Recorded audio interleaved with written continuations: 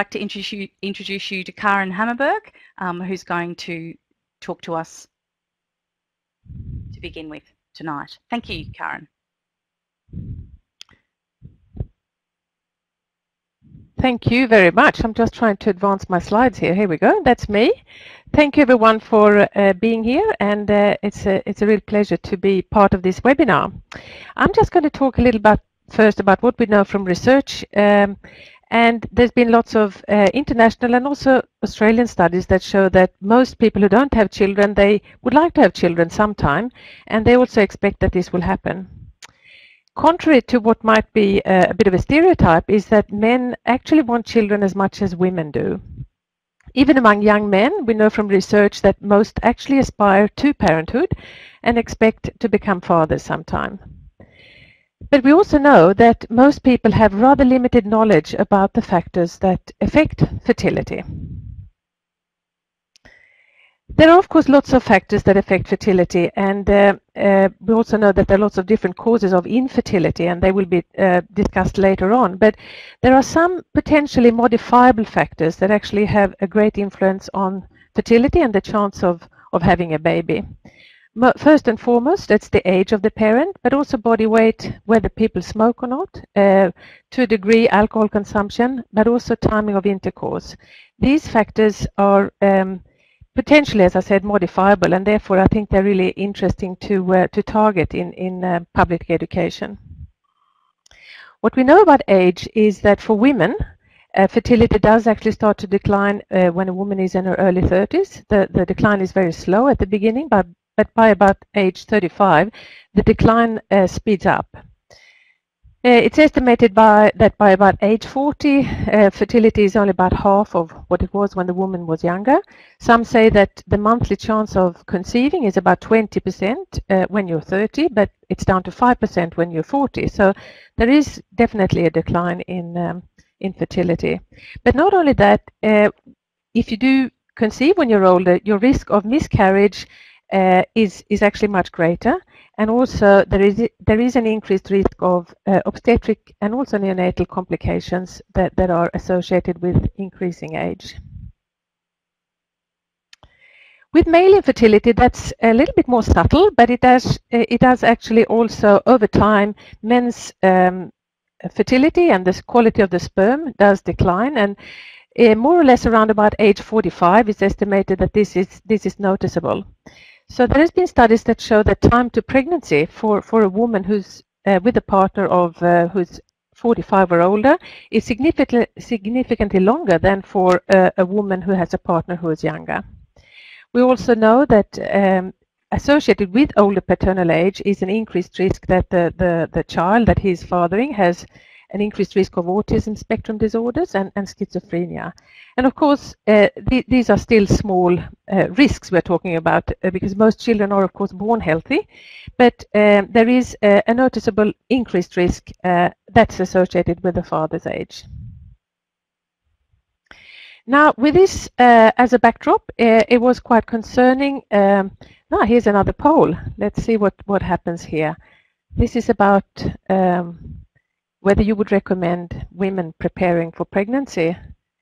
Um, we'll leave that one on for a little bit.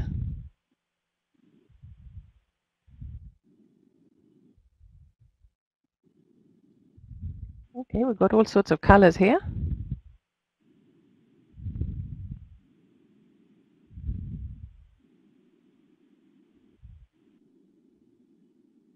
Okay, that might be that might be it.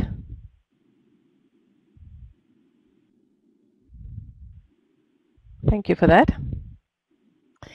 Yes, so we, um, where I work, we did a study some time ago, um, which was uh, asking people of reproductive age who said that they wanted to have a child now or in the future, uh, what they knew about uh, various aspects of fertility. And it was quite concerning to find that most of them underestimated by about 10 years the age when fertility starts to decline. So about a third of the women and about half of the men, they either didn't know when female fertility starts to decline or they thought that this happens after the age of 40. About a third of both women and men thought that male fertility starts to decline after 50. There are also some lifestyle factors that, that influence fertility, and these will be discussed in more detail later. But uh, things like obesity and smoking actually affect the environment where sperm and egg develop, and this can cause epigenetic changes, uh, and they can adversely affect the health of the offspring. Alcohol is a little bit more tricky. There is a dose-dependent relationship, but there is, uh, with heavy drinking, certainly that's known that this has an effect on fertility, but also obviously on the uh, poses risk to the unborn child. Now, there are some trends uh, that are worth discussing in this context, and um, one of them is, uh, and we probably all know that, that, that uh, we have an increasing age of childbearing. So uh, it's gone from around about 27 some years ago, and it's now about uh, the average maternal age in Australia is about 30. Uh, nearly a quarter of women who give birth are aged over 35. There are very many good reasons why uh, why age of childbearing is, is increasing, and one of them is, of course, that there's really reliable contraception now, so we don't have too many unwanted pregnancies. We also have women spend more time in education and, and spend time establishing a career and doing all the things that we all want to do. The whole thing of delayed childbearing is often framed as something that women uh, are responsible for and somehow um, do just because they have better things to do than, than becoming mothers. But we have done some research, research that actually shows that not finding a partner and or not finding a partner who's willing to commit to parenthood is one of the main reasons why women have children later. So it's very important that we remember to include men in these conversations because they are clearly part of the problem but also should be part of the solution. There are also, of course, a lot of structural factors that, that, that need to be addressed, but I'll get, get back to that later on. There's also an increasing prevalence of overweight and obesity. Uh, a large proportion of men of the, uh, and women in reproductive years are uh, either overweight or obese. Uh, smoking rates are decreasing, but there's still one in seven Australians of reproductive age is a smoker. And the proportion of, of people in this age group actually have um, consume alcohol at uh, risky levels. The other thing that is perhaps less uh, um, recognized as a factor that does influence the chance of, of conceiving is whether or not people understand or are aware of the fertile window in the menstrual cycle. So obviously conception is only possible uh, during a few days in the menstrual cycle and uh, the research I referred to before and also other studies uh, have shown that generally speaking uh, there is rather poor awareness of, of how the menstrual cycle operates and that there are these limited days when uh, uh, conception is possible. So these are things that, that potentially could be addressed by uh, education. So the consequences of, of the factors I've discussed is that uh, they, they, do increase the risk of, of childlessness altogether, but also, and perhaps more commonly, that, that people have fewer children than they had planned to have. So the window of opportunity is narrower, and therefore, uh, and other factors play in, and uh, you might have thought you'd have three children, but you end up having two, or, or you might have one. There is, of course, more age-related infertility because uh, if, if you wait long enough, uh, the chance of conception is, is lower and you can be technically described as infertile, but it has uh, a cause, and, and the cause is that, that uh, age has reduced your chance of conceiving. So with all this, we see an increased use of assisted reproductive technologies, and uh, as, as we know and are aware, and Raelia will discuss this later, these these technologies are very helpful for, for, for many people, but they also are associated with quite a lot of psychological, physical and financial costs. And for those who are able to avoid those, um, that would be the preferable way. Now, there's not one answer to all these questions, but I think there are some some uh, obvious things that that uh, might might help, or perhaps uh, um, things to, to think about that, that we could uh, do to improve uh, awareness about these factors and, and potentially help people achieve their childbearing goals. Firstly, school curricula, I think, needs to go beyond um, informing uh, children about and, and, and adolescents about how to avoid pregnancy and um, STIs. There is a place definitely, I think, in, in the um, in school curricula for educating young people about ways to protect fertility and, and the thought that um, you can turn off fertility with contraception, but you can't always turn it on when you want to unless you have the right ingredients. I also think that uh, health promotion programs have a place. I work with uh, the Your Fertility program, and we have we have uh, produced a lot of uh, material, and and I think we have quite a a big reach with with our uh, health promotion uh, messages, and hopefully some of them will help people make decisions that that might help them achieve their parenting goals. We also think, of course, for, for people like yourselves in the primary care settings, that there are lots of opportunities to introduce discussions about reproductive life planning and to provide preconception health care, which is what we're talking about tonight. But also, uh, there, there, is, there are lots of resources out there, and there will be quite a few of those in your little box down there that, that can help start these conversations and, and resources that hopefully can make it a bit easier to uh, address this topic. I think that's it for me, and um, we should hand over to um, Sandra. Thanks, Karin. Um, I think there's lots of things to think about there, and um, we'll also be including a lot of ways to try and bring um, the discussion about fertility and, and preconception care into your clinical practice, I think. Now, Sandra Villella is going to talk to us now about nutrition and lifestyle um, as it relates to preconception. Thanks, Lou. So what I'm going to talk about is some lifestyle and nutritional factors that have an impact on fertility. And so what we know, particularly with nutrition and also with environmental factors and, and lifestyle factors, is that that particularly with nutrition, it doesn't necessarily just mean that we're addressing deficiencies that might mean that may impair the, the chances of conceiving, but also these things have an impact on preventing birth defects and miscarriage rate, and also the development of the um, embryo as and, and the impact on the sperm and the egg. And we know that there are many factors, nutrition and lifestyle, that can affect impact on epigenetics and how this impacts the development of the embryo and also the offspring and the chances of health impacts on the offspring as well. So we'll start off with some basic ones like smoking. So smoking, smokers are more likely to be infertile and also women who are exposed to smoking take longer to conceive. And we do know that there is a lower birth rate, birth weight and birth defects associated with mothers who smoke. And they do go through menopause earlier. So that can mean that they shorten their chances of getting pregnant. It can also, of course, damage sperm DNA. If you look at caffeine, then there, in terms of affecting fertility, some resources say that two caffeinated drinks or two cups of coffee are okay. I would suggest limiting it to one cup, and we know that any more than 300 milligrams of caffeine a day can impact the chances of miscarriage. Some sources say that alcohol, there's no evidence in terms of it influencing the chances of conceiving, but certainly when you do are pregnant to avoid it because uh, it can impact on the, on the health of the developing fetus. What's really important is to highlight the how important a good diet is. And I like this pyramid because it, as you can see, the bottom part of the pyramid is high, is really emphasizing a high amount of fruit and vegetables. And really, if the take-home message is to increase the amount of fruit and vegetables, that's going to be a useful message to take home. But what that does mean as a breakdown is that what we want to encourage our women to have is a whole food diet and avoid processed foods. And by doing that, we're avoiding a lot of the health, unhealthy fats, unhealthy sugars as well.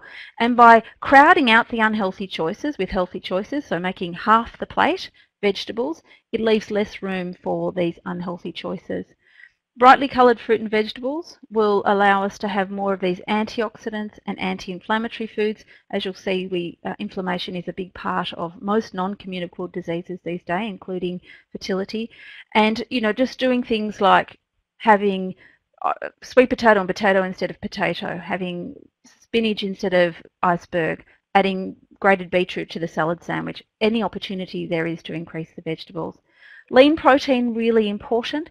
Um, there's some interesting studies looking at even uh, protein deficiency around the time of conception and how that can affect the epigenetics of, of the developing um, of the embryo. So a fish size is the general recommendation, a, a, combination of animal sources and also vegetarian sources, including legumes, can be useful.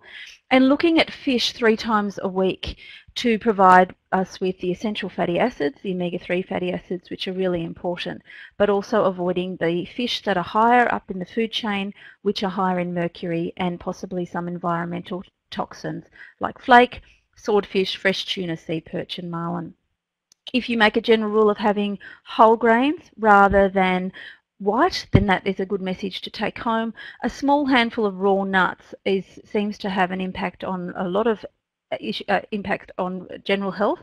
Walnuts would be ones, almonds, also macadamia nuts.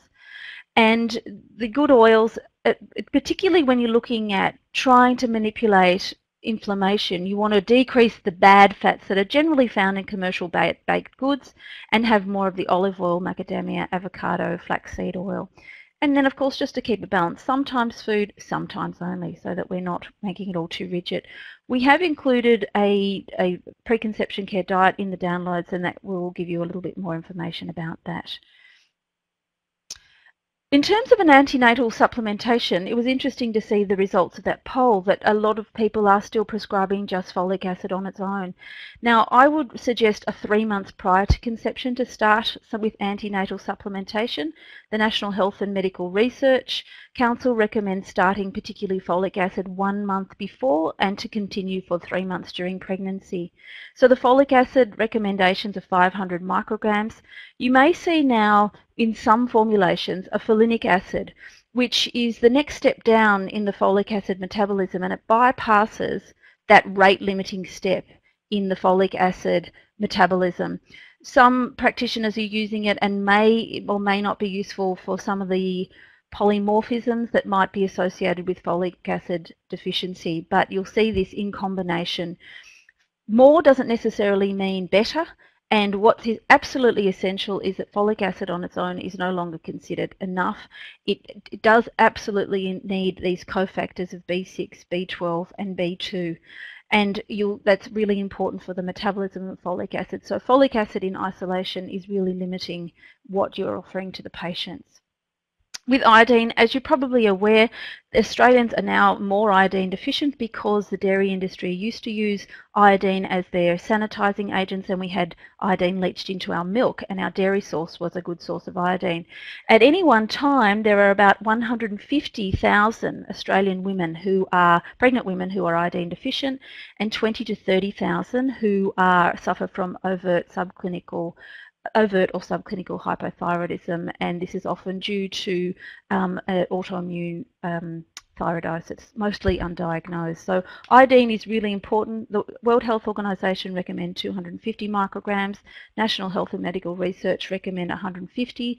We do get some in our fortified breads, uh, not organic breads though, and the, the needs increase during breastfeeding to 270. Zinc is also really important and especially important for male factors. And with vitamin D, it may just be useful to make sure that women are getting about 1600 to 400 international, use, international units daily.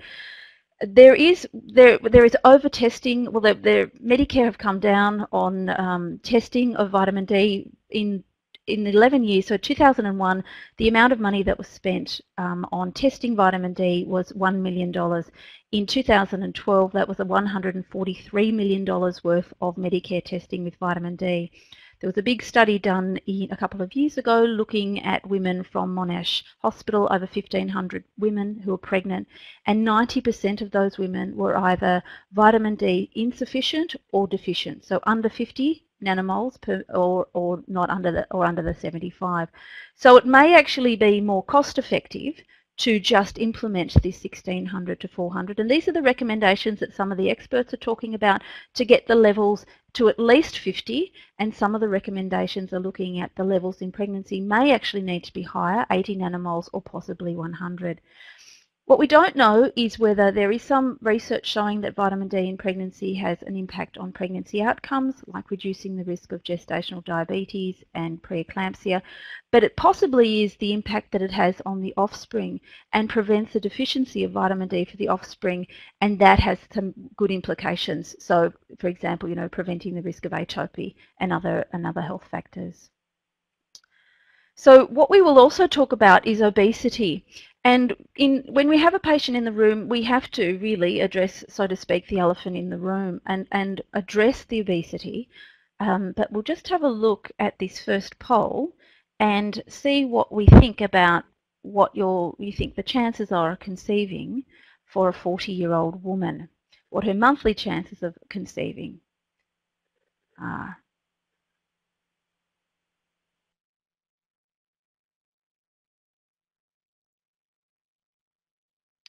Okay, so it looks like that's slowing down a bit now. And looks like the majority of people are looking at around the 5%. So we can close that off. Thank you.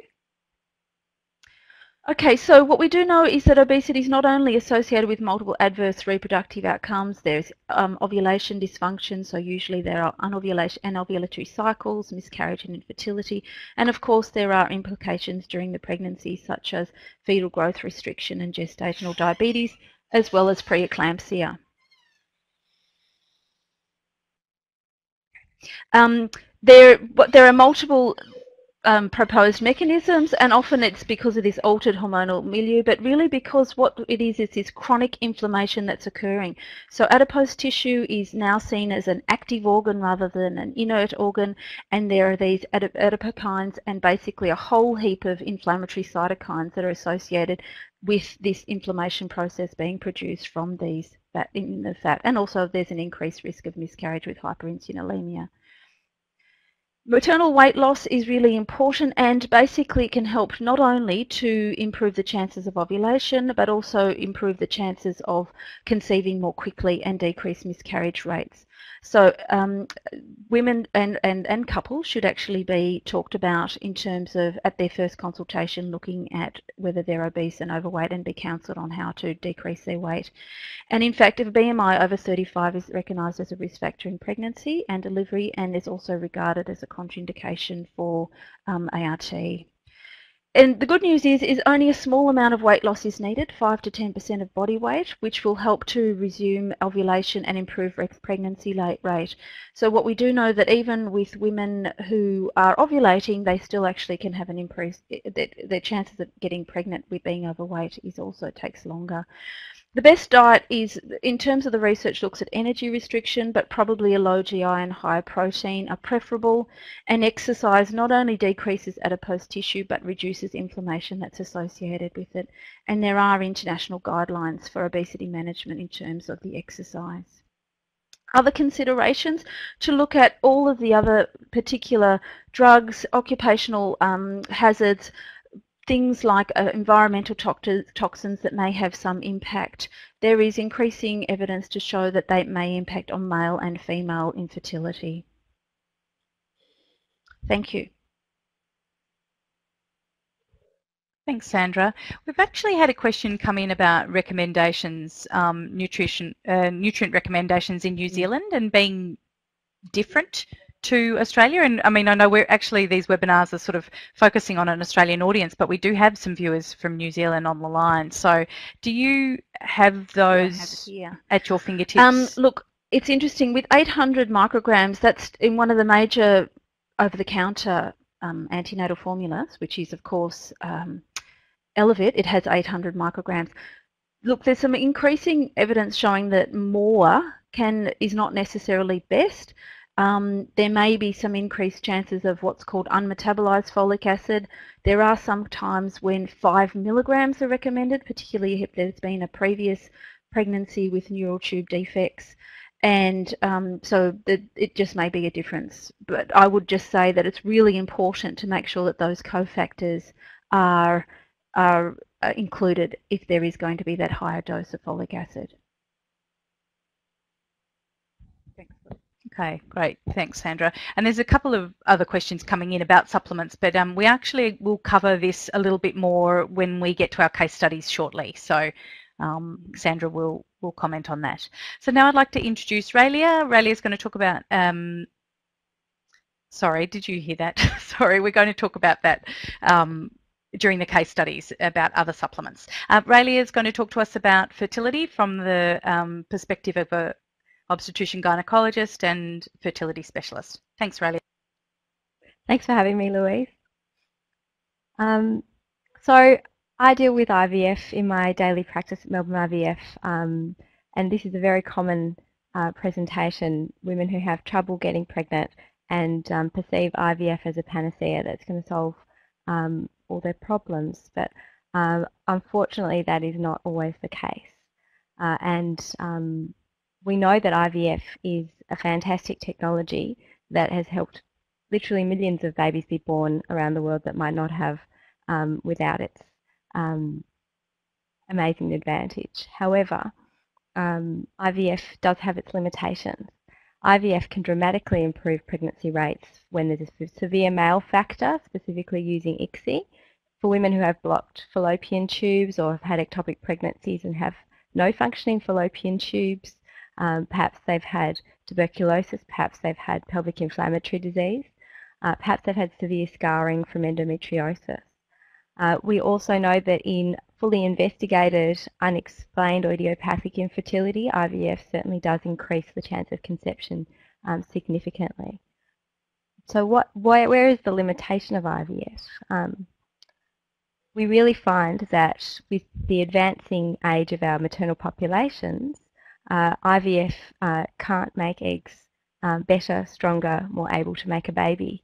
Uh, when we see uh, from Karin's slide that the average age of uh, first maternity is over 30, we have to consider that 50% of maternities are in fact on the older side of that spectrum uh, and a significant proportion are um, closer to 40.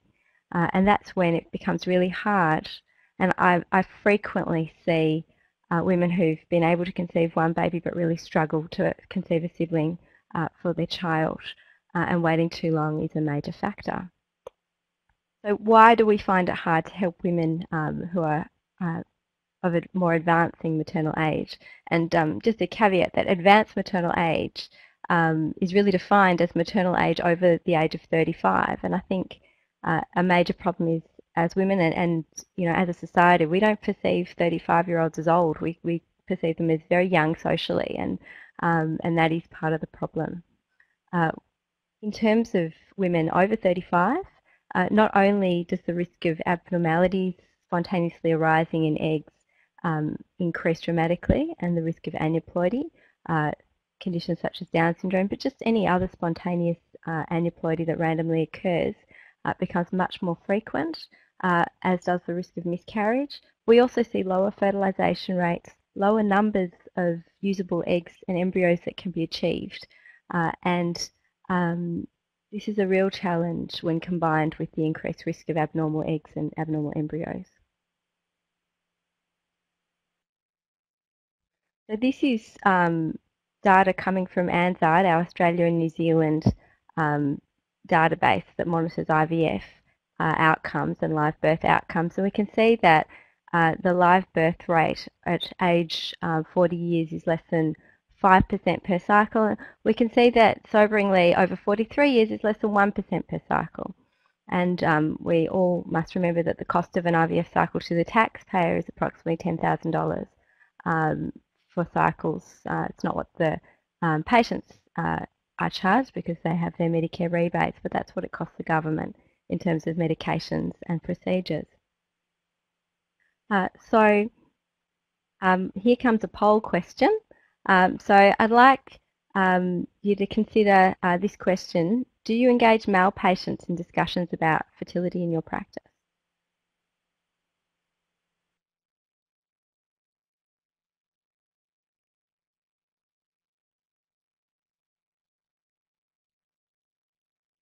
Okay, thank you very much. Um, and we'll share that um, so you can see the, the um, spread of responses.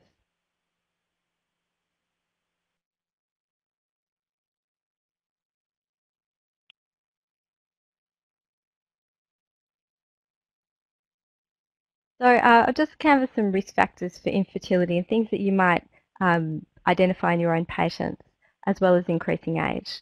Um, so if, if a patient has had um, previously sexually transmitted infections such as chlamydia, it's worth screening for, uh, very prevalent still. If they have endometriosis or family history of endometriosis, specifically in a sibling, the risk becomes quite significant, um, even in a patient who is relatively asymptomatic.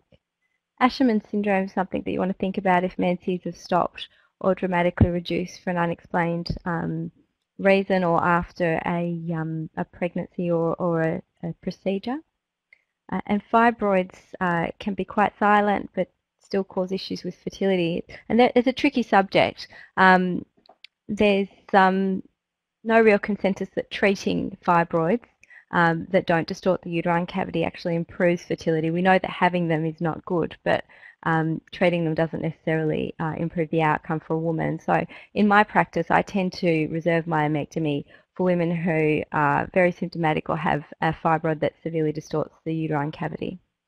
Uh, because obviously uh, it, it, it, carries a significant uh, amount of risk when you do a myomectomy and, and one of the, the worst things that can happen is a hysterectomy resulting um, from complications of surgery and in a childbearing um, woman who's seeking fertility, that's not, um, not something I would undertake lightly. In terms of other risk factors for fertility, we mustn't forget iatrogenic causes such as chemoradiotherapy um, in our uh, quest to treat cancers earlier in life, um, surgical removal of an ovary due to a complication or due to a, um, a pathology, um, and also, of course, Karin spoke um, and, uh, and Sandra also uh, spoke about obesity and smoking as um, very difficult uh, problems to to face, but but reversible causes of subfertility. So why do women delay having babies? And I, I think, um, you know, we really need to talk about why couples delay having babies.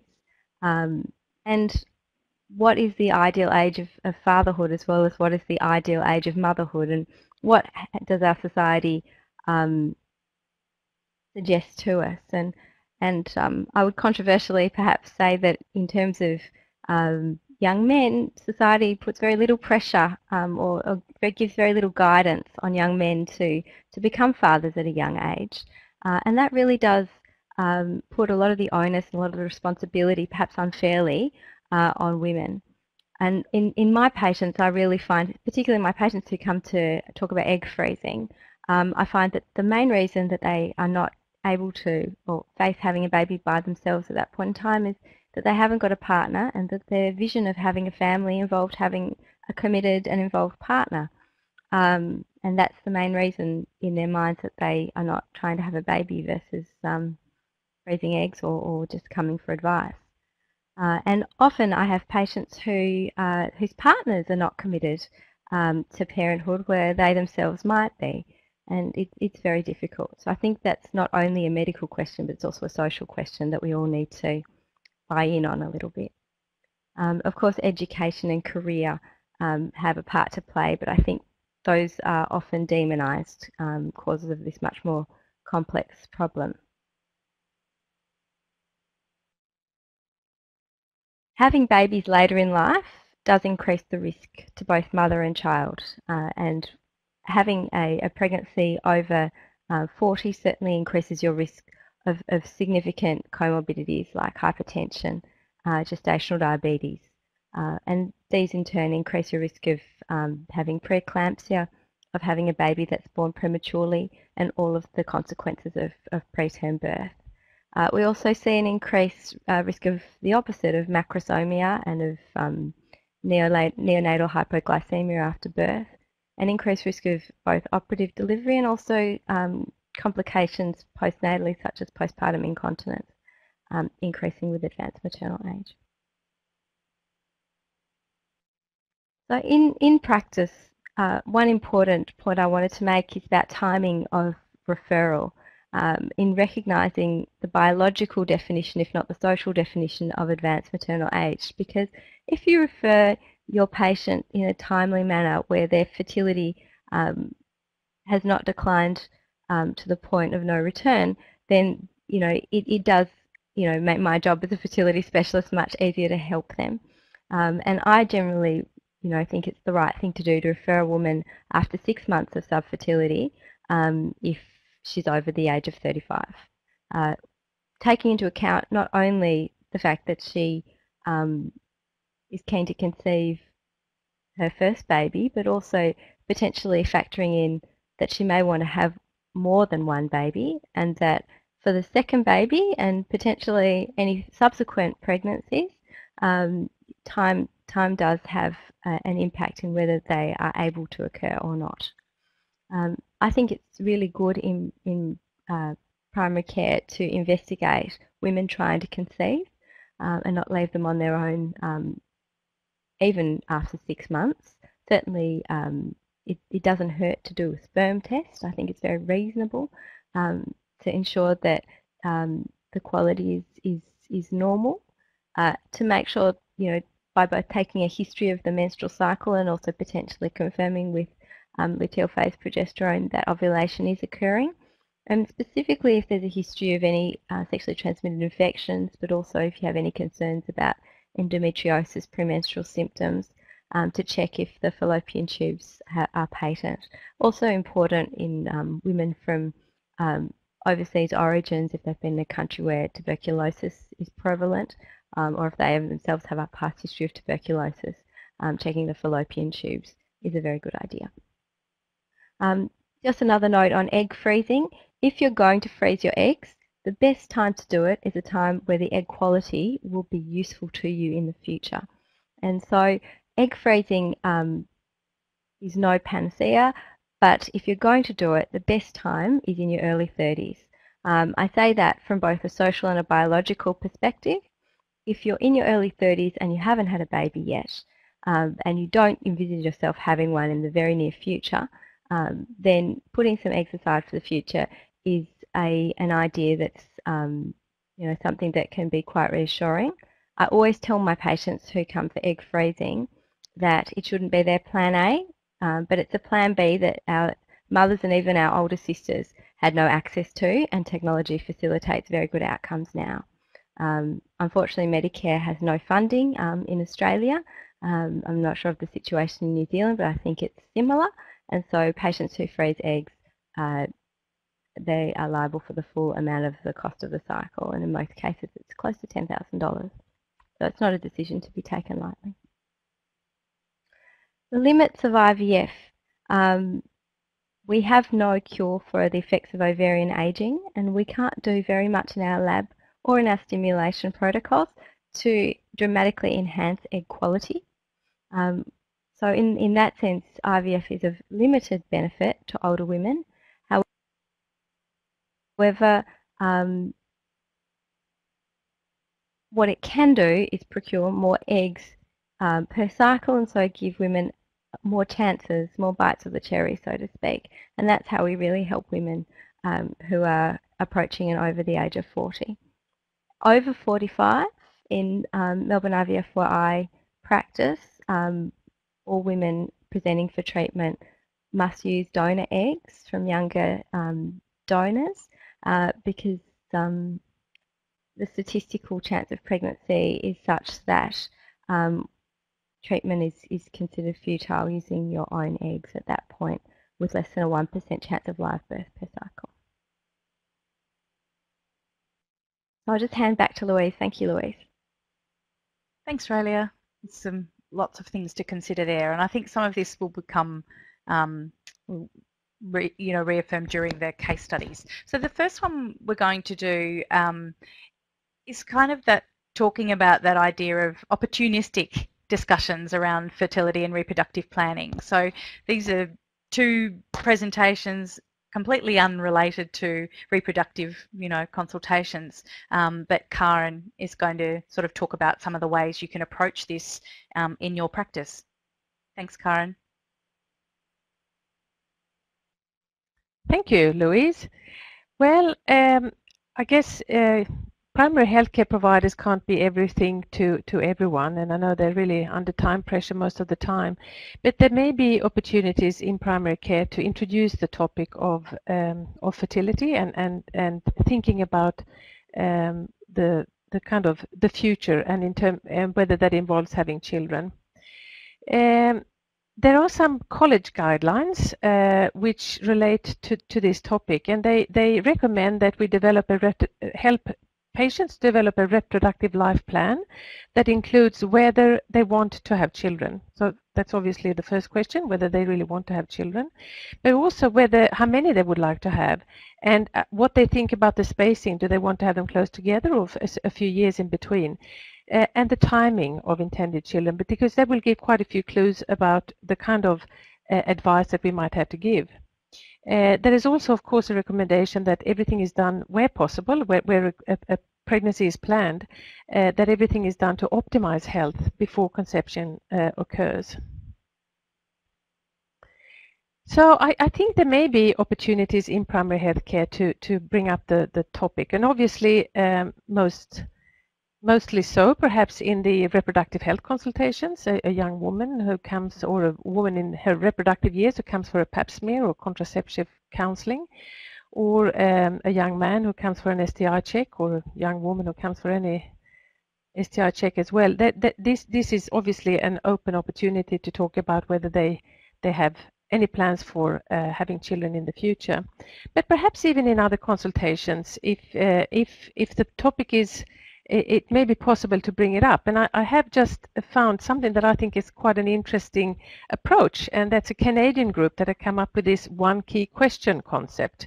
So their idea is that in a, in a consultation about pretty much anything, there is one question you can always ask, and that's whether uh, someone would like to become pregnant in the next year. They have a website, and I encourage you to look at that because I think it is um, it is an interesting concept, and if it's woven into to uh, consultations, I think it could give a lot of opportunities to to discuss this. So they suggest that this is asked uh, routinely so that uh, more pregnancies are in fact wanted, planned, and as healthy as possible.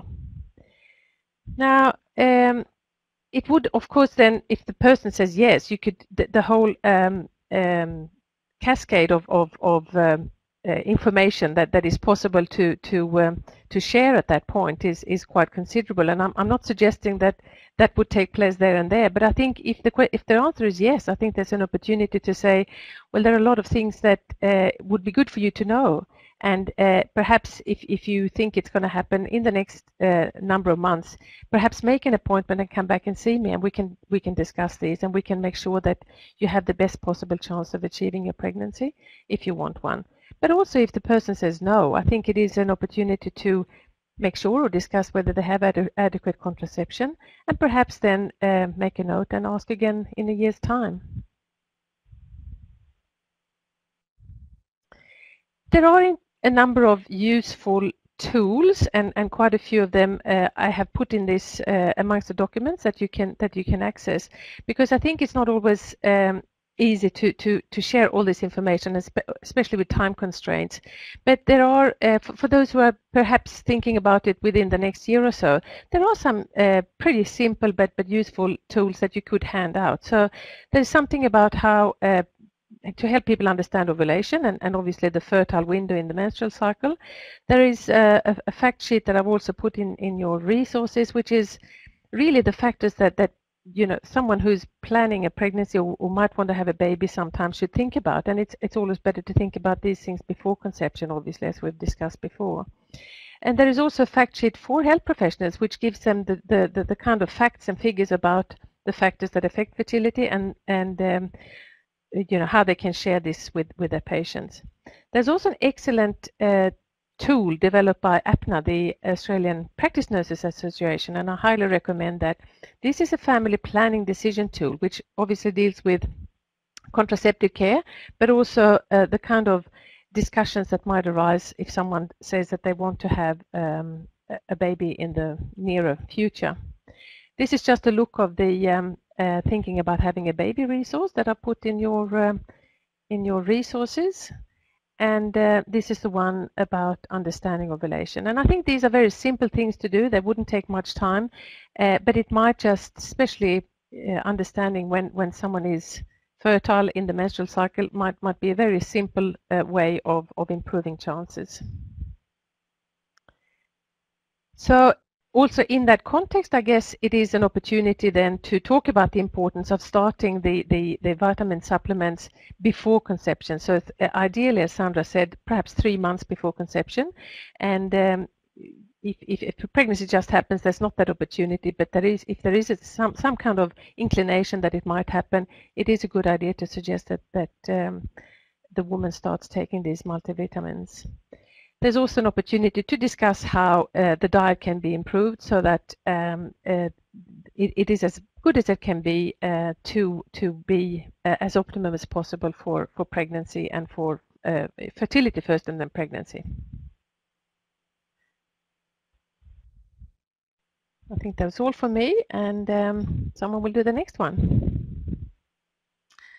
Okay, thank you, Karin. I think it's um, it's really good that people, there were quite a lot of people who were actually talking about um, fertility and, and preconception planning or um, earlier on. But I think, you know, there's ways that probably we can tip over into the into the next into the next level of doing it as a regular thing. I know there's lots of things to do in a consultation, but I think it's a really important thing.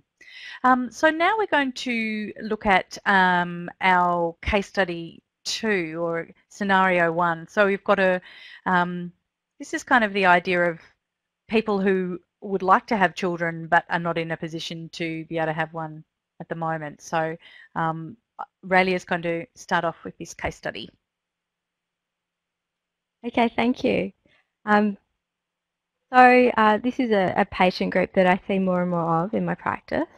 Um, and I often do opportunistically speak about fertility to women who I see for other reasons like contraception or a pap smear checkup um, to just raise awareness and, and give them choices because knowledge does empower women um, to make informed choices in their future.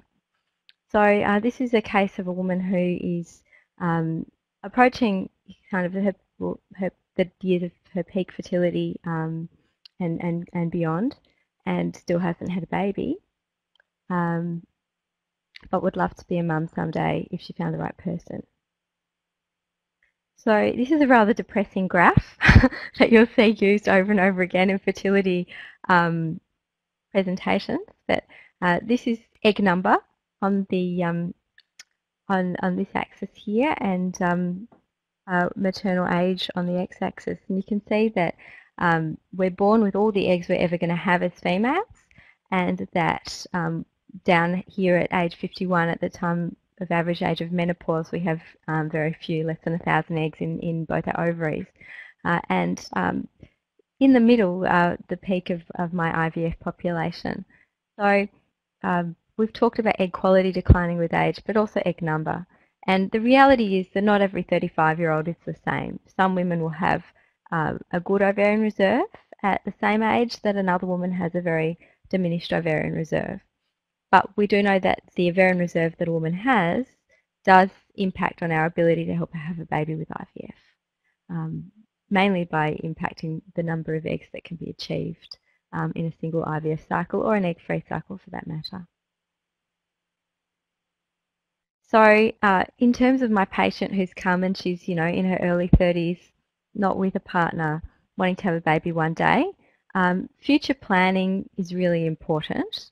Um, and um, it's important to talk to your patients about this. Have you thought about having a baby? Um, are you aware of female fertility limitations? Um, would you like me to refer you to a specialist to discuss this further? It's worth considering AMH screening. Um, certainly under 35, um, you know, between 28 and 35, you can argue that that might influence a woman. Her ovarian reserve might influence the options that she has um, kind of on the table in the future in terms of both um, egg freezing and also in terms of IVF. In terms of immediate action though, even if women don't want to be um, interventional um, and take kind of extreme proactive measures, um, you can give them good contraception advice Um, you know, you can make sure that you reinforce messages of safe sex in, in um, new relationships so that they don't contract sexually transmitted infection that might impair their fertility in the future. In terms of lifestyle advice, um, it's much better to stop smoking and um, kind of be of a healthy body weight. That will in, in turn improve your chance of having a baby in the future. And of course, cervical surveillance, making sure that pap smears are up to date, um, making sure that, that you know we can avoid things like um, late treatment, cone biopsy, um, you know treatments that, that potentially do complicate pregnancies down the line. And in, in that kind of primary health care, health promotion um, aspect, action now will prevent future problems.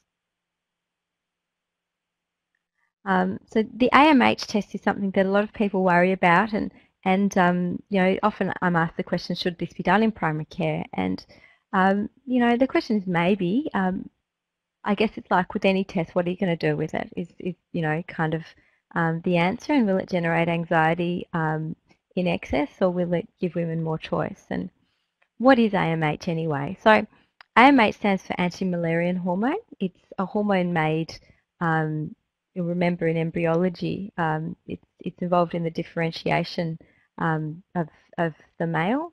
In the female and in the ovary, it's made uh, by primordial follicles. We think it plays a role in um, suppressing growth of follicles. So why don't we lose all those eggs in one go in your first menstrual cycle? Something stopping them and keeping them in suspended animation. And it's a complex array of hormones that does that, but AMH is one of them. And um, it's expressed by the follicles you can't see on ultrasound, the, the primordial follicles and um, the preantral follicles as opposed to the, the antral follicles, which are defined as 2 to 9 millimeters in, in diameter. They're the ones that you count in the follicular phase. Uh, and you can see here by this graph that the, um, the AMH has a huge range, um, even in women of the same age. Uh, and it's normally distributed, just like other population parameters. We know that it correlates with the density of ovarian follicles in the ovary, and therefore we can correlate it to how women will perform in an IVF cycle. We use it in IVF to reduce a woman's risk of hyperstimulation by dose adjusting um, stimulation regimens.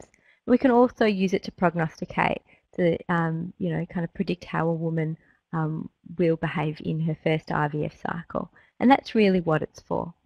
Um, in terms of egg freezing, um, it's a test that women do to tell us a bit about their egg number. It does not have any implications on their egg quality, and egg quality is very much related to biological age. Um, so there'll be 35-year-olds who can get 20 eggs, and there'll be 35-year-olds who can get three eggs in an IVF cycle, the quality per egg will be very similar between those individuals. Um, AMH will differentiate between um, the number of eggs that a woman might, eh, might expect to achieve, but not um, in terms of the quality. Having said that, um, there is a complex interplay because the more eggs you have available um, in a cycle, the more chance you'll have of finding that inverted common golden egg that's going to be your baby. Um, so it does have a relationship with um, with live birth and it does have a relationship um, with prognosis of an IVF population. If anybody is nervous about doing the AMH test in primary care, um, if a patient really would like to have it done, um, I would suggest just uh, handball the patient onto a fertility specialist um, to have that difficult conversation.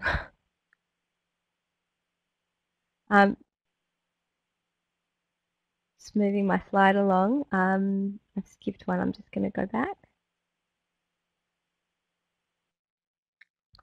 Okay, so one of the slides that I, that I would have um, liked to show you is not coming up, but um, uh, hopefully it'll come towards the end. Oh, here we go. Thank you, tech people.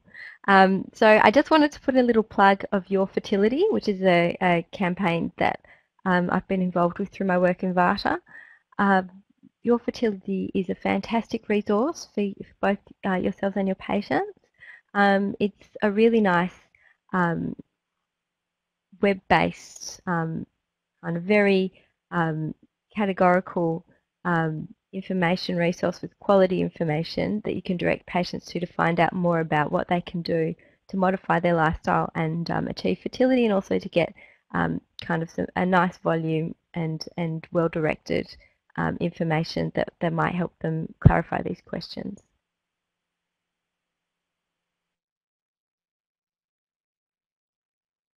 Lifestyle and nutrition um, has been covered by both Sandra um, and also Karin, but um, I can't leave it out um, in terms of um, in terms of you know factors that are important to talk to patients about.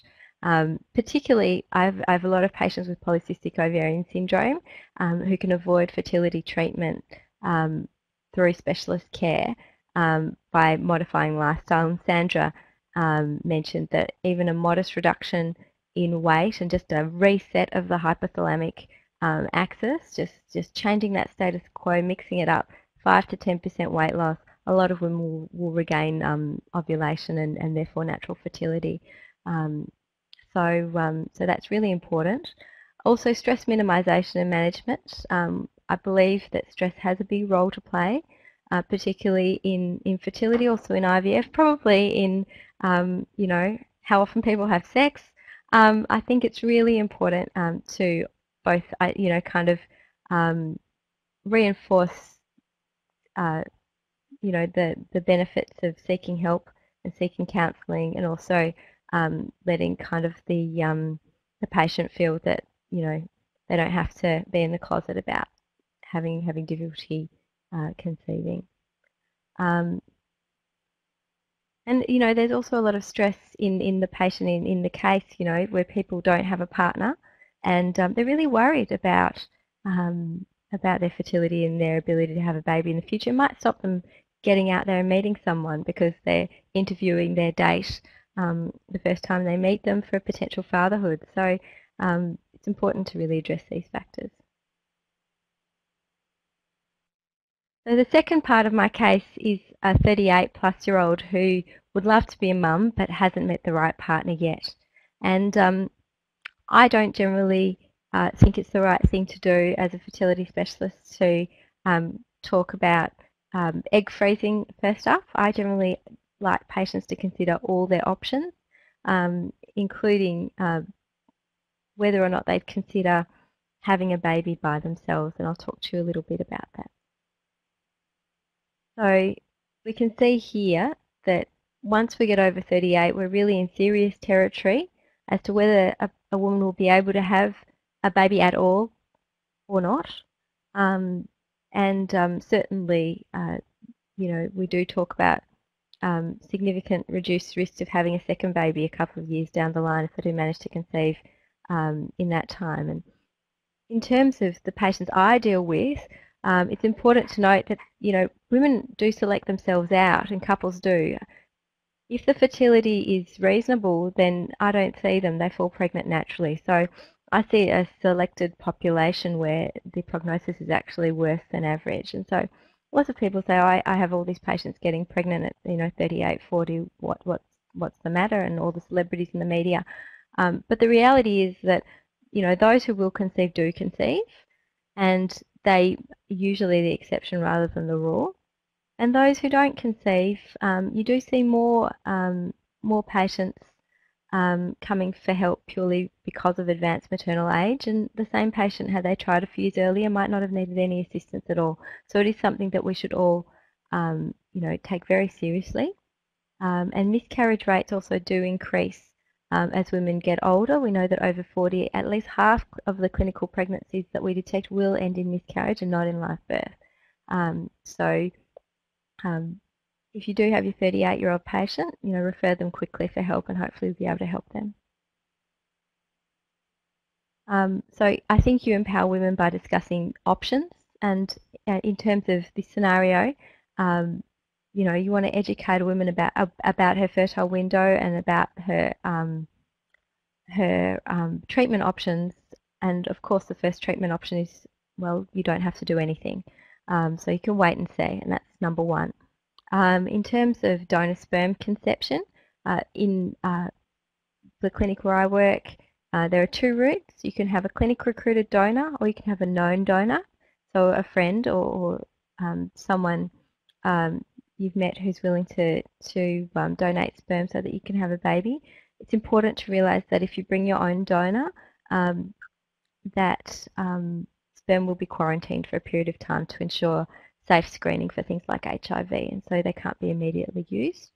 Uh, VARTA website in Victoria has some fantastic information on all the implications of donor conception, and I would encourage you to go there um, for more information from a legal and social perspective.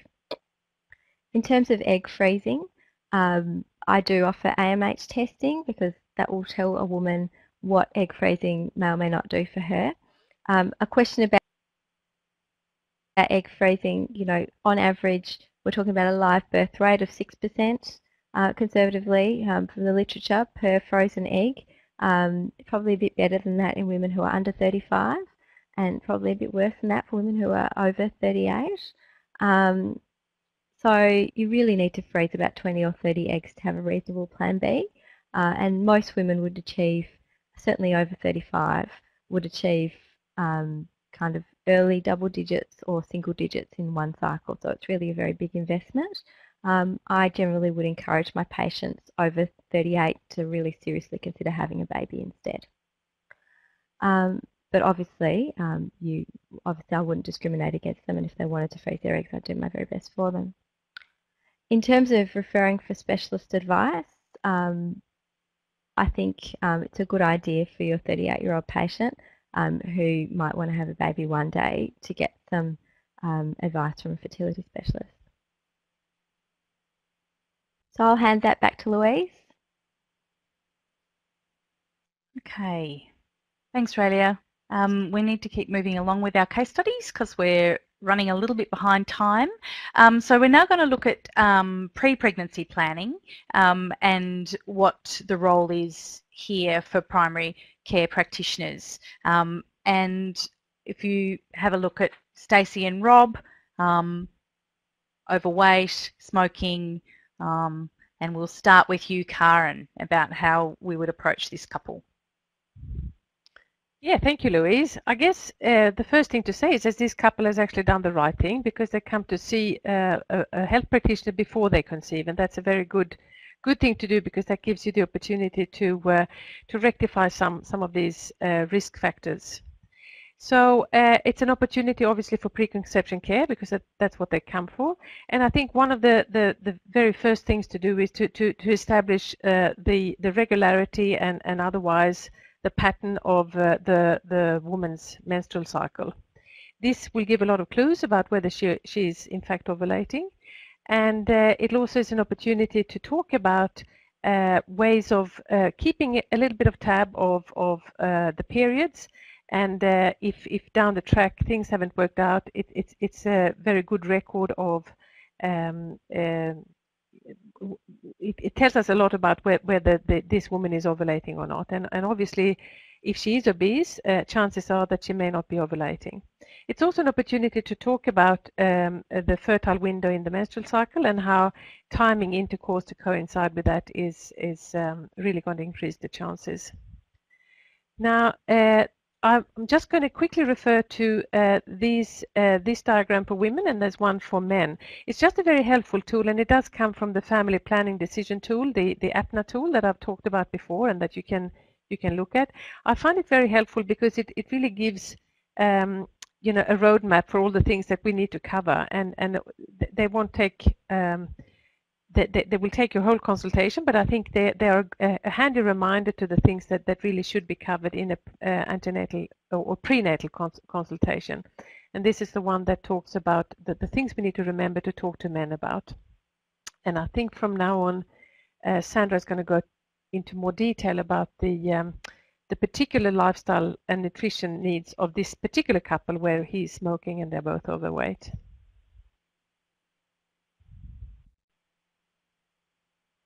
So I think it's over to you, Sandra.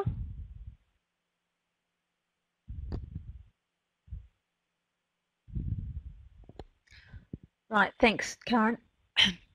So because this partner, because the male is smoking, I would refer him off to um, have some sort of method of trying to stop smoking. That's really important. And because he is smoking, he really will need to be having a a, a formula, an antenatal formula for men that includes some antioxidants as well with some folic acid and zinc usually included.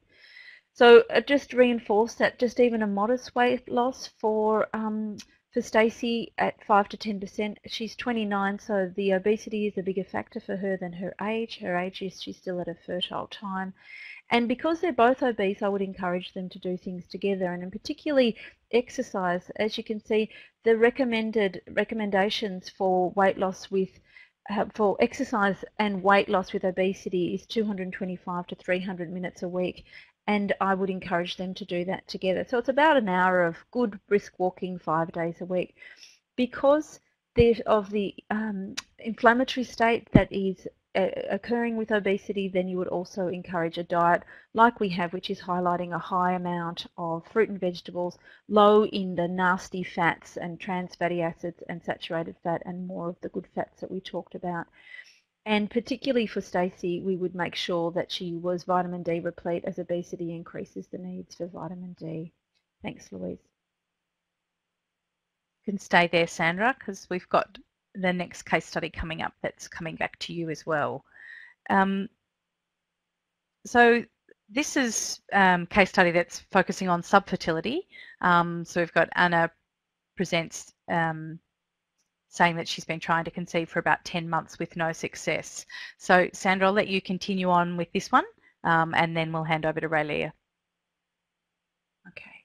So this often would be the time when perhaps a couple will attend a naturopath for the first time to see what else they can do and you would absolutely ensure that they were getting all the preconception nutrients. And I just wanted to make the point that the reason why folic acid is started that one month before is that the neural tube um, is the important time for that is between day 17 and 30 of gestation and by day 28 of pregnancy the neural tube is closed. So getting in before most women know that they're pregnant pregnant, absolutely refer to a, a fertility specialist if not already um, managed by a fertility specialist and really looking at that optimization of general health with a good diet, minimizing stress, um, looking at what their exercise, their, their environment is, where they live, what work influences might be, and having uh, seeing if there's anything there um, stress minimization and management. And the main point is, is this, I would be using herbal medicines and antioxidants. And the main point that I would be making here is that I would usually be working collaboratively with a fertility specialist and informing the specialist or the doctor of what I'm actually prescribing. And basically that could be because there is an interaction that could occur or and um, um, and and certain medications need to be avoided, but usually just so that you know, just like um, need to know what the patient is taking, and of course avoiding anything that is teratogenic. Um, that goes without saying. Okay, thanks, Louise. Hey, Raelia, we'll come back to you for your recommended management.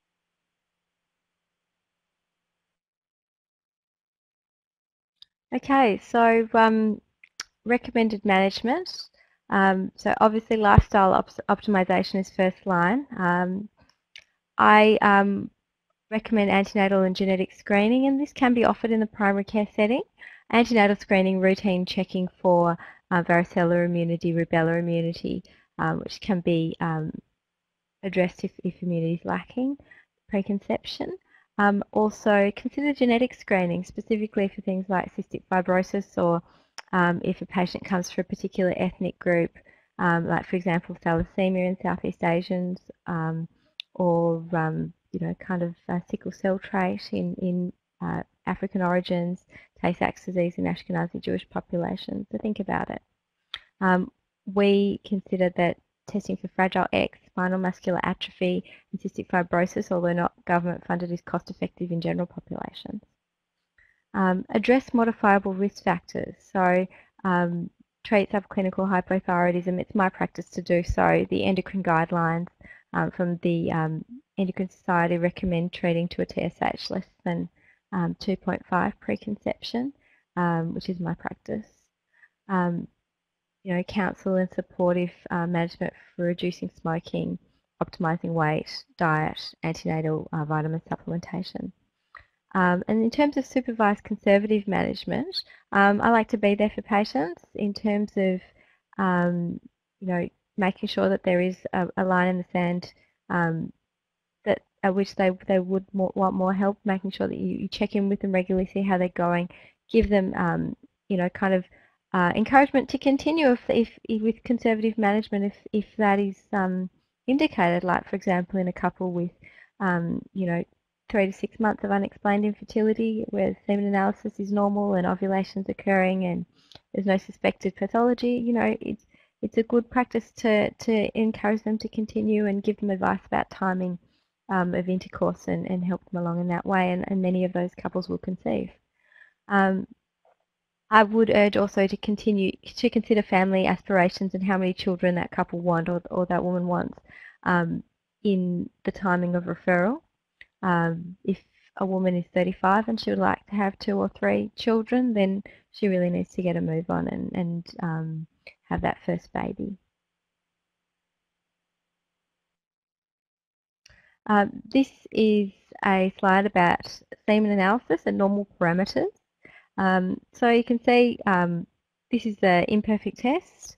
Uh, it's generated from a study by the WHO that looked at um, men whose couple whose um, partner conceived in less than 12 months of trying spontaneously, and it's the, these um, numbers come from the lower fifth centile of that population. So it's not a functional test; it's an epidemiological test. Um, and um, on the basis of it, there's plenty of people who do conceive naturally, and if you do their semen analysis, one parameter or more might be um, below normal on a given day. Um, a, a, lot of different factors can influence this test, and it does fluctuate with things like having a fever or having a an illness, a general health um, uh, problem, a hormonal imbalance. So it's important to do this test on two occasions, six weeks apart before um, rushing to conclusion. Sometimes getting a male partner to give a sample once can be a bit of a challenge, but, but that's what I'd recommend you do. Um, certainly if you have a severe issue with um, reduced motility or a severe issue with um, uh, low forms that are um, that's persistent, ICSI can do a lot for a couple like that.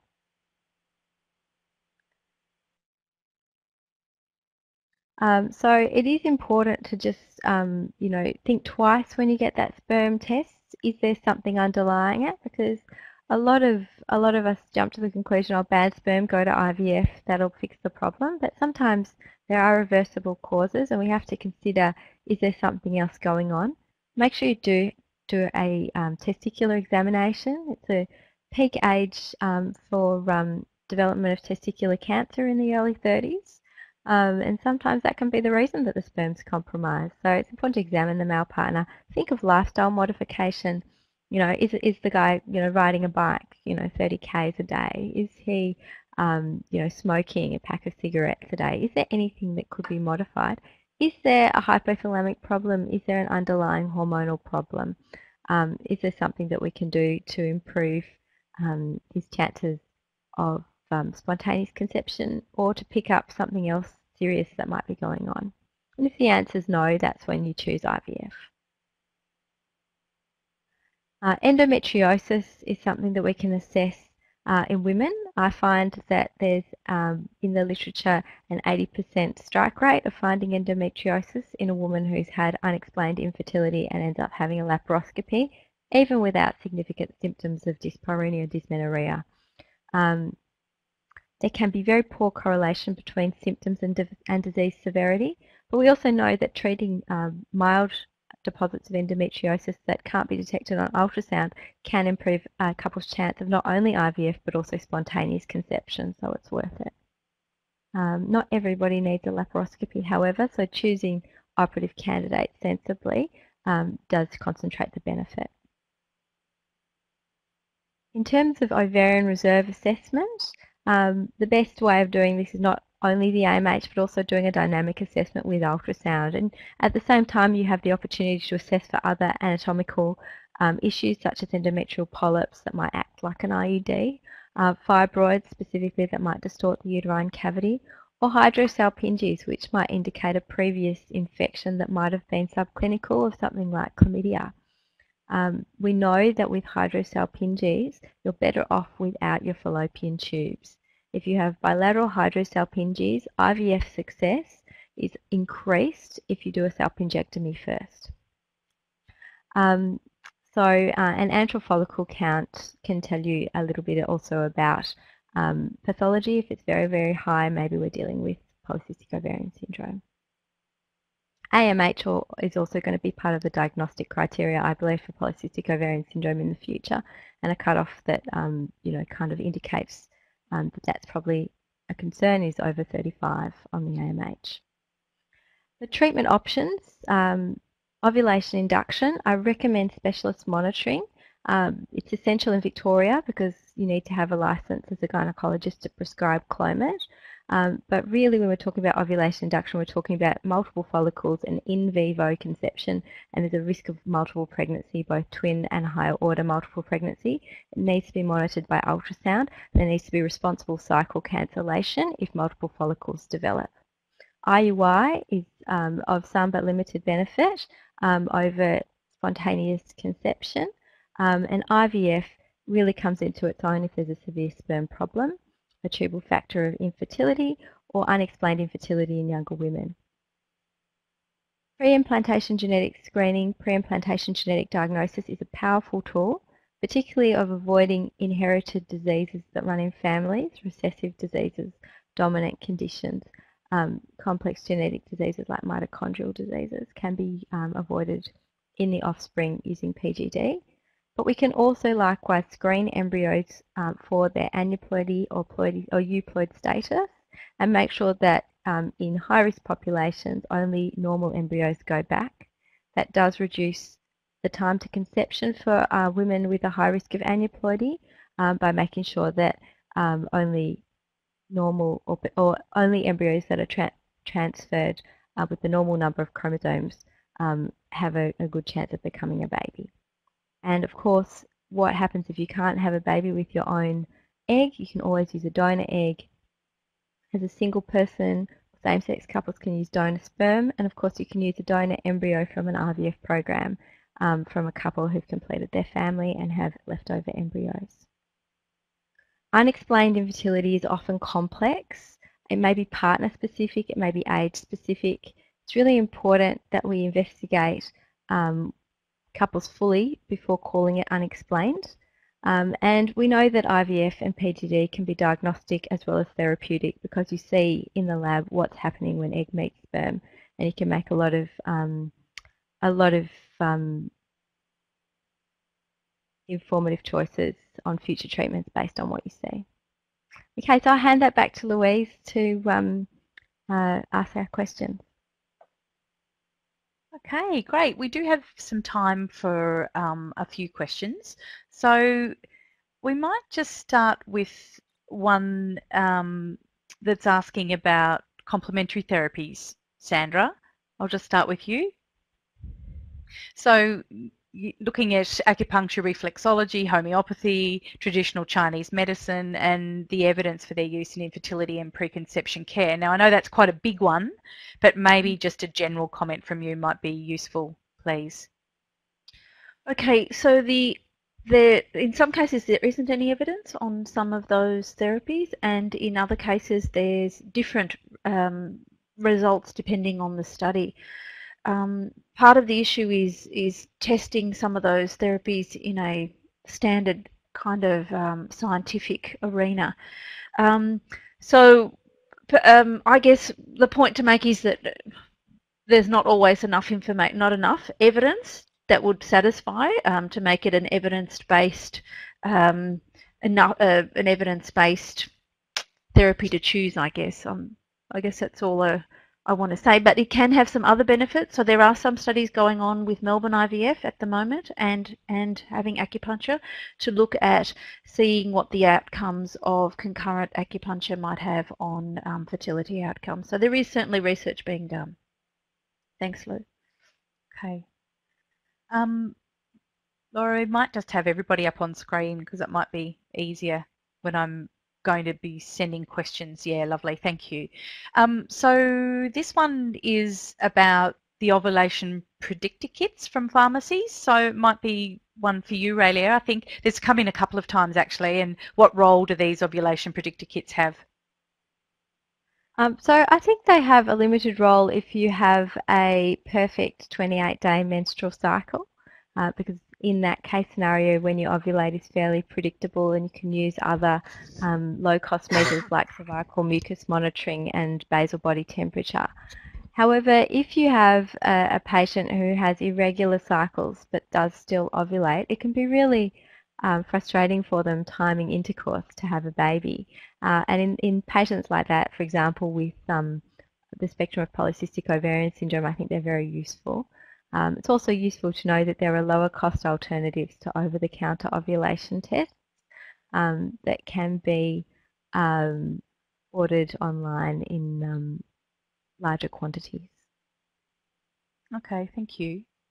Um, there was also a question regarding um, the use of metformin as part of fertility optimization. That's probably another one for you too, Raelia. I use metformin often. I use it in the context of polycystic ovarian syndrome, um, where part of the pathology is due to an insulin resistant state. Um, and there have been lots of studies looking at metformin versus clomiphene and the combined effects. Um, I do think that metformin does give an advantage to some women with severe polycystic ovarian syndrome. It also can help um, metabolic risk. Um, so I do use it quite often. Also, there have been studies that show that women with polycystic ovarian syndrome who do for other reasons like male factor require IVF, um, on metformin, the risk of ovarian hyperstimulation is significantly reduced. So um, that would be the context. I think it would be very reasonable for GPs who are used to prescribing metformins as first line in diabetes um, to also prescribe infertility patients in that in that group, in that patient group. Okay, great. Um, there was also a question too um, earlier and I'm sorry if I might have missed if you did say it, but just in regard to sperm tests being reliably done by any lab or, you know, we've got, we'll have people all over Australia and overseas too listening to the webinar. So just your opinion on, you know, the ideal. Um, so, you know, in an ideal world, which um, a lot of us, you know, can't can't necessarily have access to, we'd use a specialist andrology lab and we'd make sure that samples um, are collected under ideal conditions, so two to seven days abstinence um, before sample collection and making sure that the samples in the lab within one hour of collection and analysed. Um, unfortunately, we don't live in an ideal world, and I still think it's it's worthwhile for primary care to be the place where the first semen analysis is done. So, um, you know, kind of my practical worldview would be to refer to uh, the lab you normally use um, and just give the patient instructions um, to have the best possible outcome in that circumstance. And are there any other tests that you'd follow up after the semen analysis in terms of male testing? Well, I, I personally examine my patients. Um, I do a testicular exam for, for my male patients. Um, if I'm the, I often, I often receive a semen analysis that's already done um, from primary care, which is great. Um, you know, but some diagnoses can be made on a, on a testicular examination. Like, for example, you'd never miss a patient with Klinefelter syndrome who has a 1 mil testis if you do a testicular examination. Um, so it's, it's worth doing that and, and kind of in primary care certainly investigating both partners. Um, fertility problems, uh, we think 50 of, you know, kind of at least 50% of fertility problems that couples experience have a male factor and in 30% it's the only factor um, that we identify in testing. So it's a big part of the equation. And look, probably one last one, and we'll have to leave it there. Um, and these have all been directed at you, Raelia, but um, it's an important one. And you mentioned the testing the patency of fallopian tubes. Um, and is this common practice in primary care? Yeah, so look, I don't think it is common practice in primary care, but I think, you know, a lot of primary care doctors do testing for chlamydia and find patients to be positive. And if such a patient is trying to conceive, um, it would be very reasonable for a, a, general practitioner, when they do often refer for pelvic ultrasounds, to refer, refer for a tubal patency assessment. And there's a lot, if, if you happen to live in, in, in Melbourne or a metro centre, there are lots of um, specialist women's ultrasound centres where that can be performed by what's called a HyCoSy or a foam tubal patency assessment. In other centres, regional and rural, you can do an HSG, which is an which is an X-ray test um, where contrast is used, and that's um, that's often more accessible in, in that context. But yeah, I think it's definitely relevant to do in primary care if you're suspicious of tubal factor infertility. Um, so I'd just really like to thank Your Fertility for, for partnering with Jean Hailes to present tonight's webinar. I think the number of registrations is testament to the importance of the topic and your need for information as health professionals in primary care. So thanks to our fantastic panel, I think they've all contributed really important information in their in their area. Our next webinar is on June 21 and the topic will be endometriosis. So the person that asked the question about endometriosis earlier, you'll have to come back on the 21st of June and find out the answers then. So thanks very much for attending and we hope we'll see you again for Jean Hailes webinar programs. Thank you.